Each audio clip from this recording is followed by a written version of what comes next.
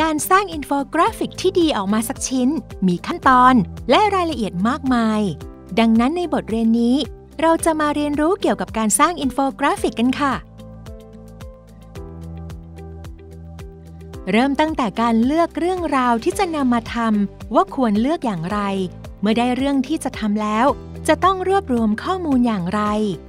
จากนั้นจะนำข้อมูลที่ได้มาทำโครงสร้างและ outlining อย่างไร ตลอดจนสร้างออกมาเป็นอินโฟกราฟิกต้องทำอย่างไร ซึ่งสิ่งต่างๆ เหล่านี้ ใช้เป็นแนวทางในการทำงานให้กับท่าน ได้เป็นอย่างดีเลยค่ะ ถ้าพร้อมแล้วไปเรียนรู้กันเลยค่ะ